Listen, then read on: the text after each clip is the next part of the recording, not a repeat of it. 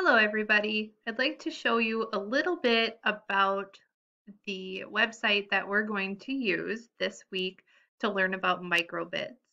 We are on Microsoft's Make Code website and we're going to be learning a little bit about microbits. If we could be in the classroom together right now, you would each have a microbit, um, these small mini computers um, that we could code on our Chromebooks and then um, download that program to our microbit and be able to play games and see messages and that kinds of things. And we can't be together, but we can use what's called a simulator.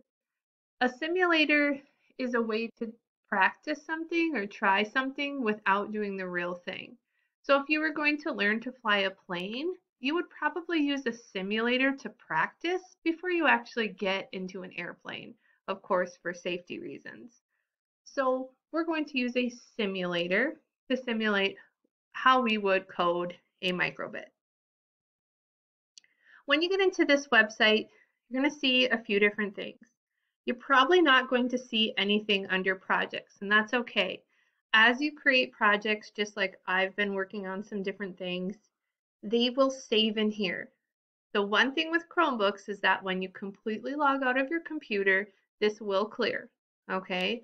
So just just be mindful of that, that if you start a project and then you completely shut down your computer or log out of it, that you need to log back in with a password, this will be cleared.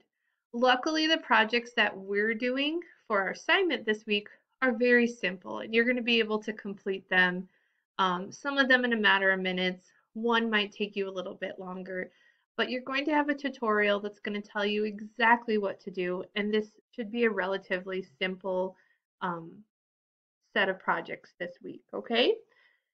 The other thing that you have are those tutorials. So this week we're going to be working on a few different things. We're going to start with the easiest project, which is making that microbit flash a heart shape. We're going to be telling the microbit how to show your name and we're also going to be coding our microbit to play the game rock, paper, scissors.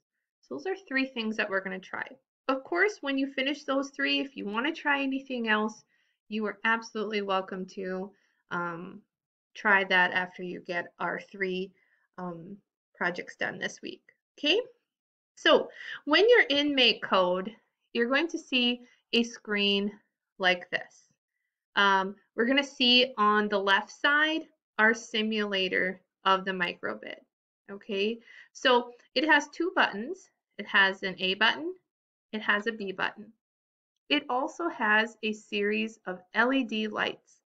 And these LEDs will light up based on how you program it to, to look like. So this is where we would see our shape of a heart, or this is where we would see our name scroll across. In the middle are your blocks.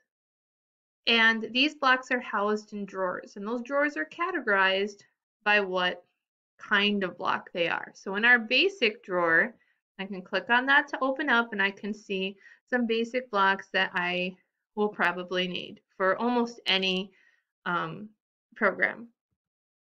I've also got some other things, input, music, um, variables, which is one of our vocab terms this week. Uh, so is loops. And so um, the cool thing about the tutorials is it only gives you the blocks you need. So right now I'm in an open project so I can see a lot more blocks than I need. When you do the tutorial, it's only going to give you exactly what you need. And so that's going to simplify it for you um, and make it a little bit easier. We also have our workspace, which is where we'll build our code and we are set up in block mode. The really cool thing about this is if you are a little bit more advanced or you prefer text coding, you could switch into JavaScript. I would say for these projects, please do block. That's what I'm looking for when I um, look at your work. And then if you um, want to challenge yourself later and switch to JavaScript, you absolutely can. Once you make your project, it's pretty cool. You can just test it um, by clicking over here. So let's say that I want to say when A button is pressed, that it should show a this little duck. Okay, when I press A, it should show a duck, and when I press B, let's have it show hello. Okay, and so you're going to see this blink over here, and I'm going to click the A button to test this out. So when I press A, I'm going to see a duck. Cool.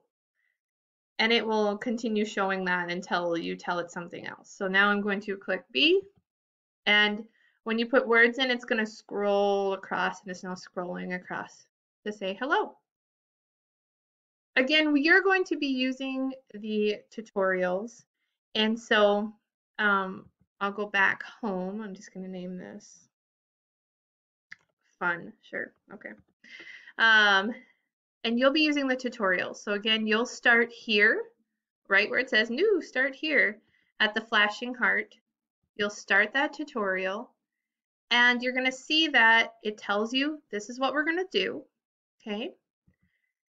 And it's going to show you exactly what you need to do to make this happen. So you've got which blocks you need. You've got a tiny little animation of what you need. You have your simulator and it's only giving you the basic blocks that you need. So they really, really simplified this so that we can start slow and really get those basics and then be able to do more advanced projects. I know you guys can handle this. I'm super excited to see what you can make. Um, I wish we could see the microbits in person, but until then, we can practice on our simulator until it's safe. Thank you.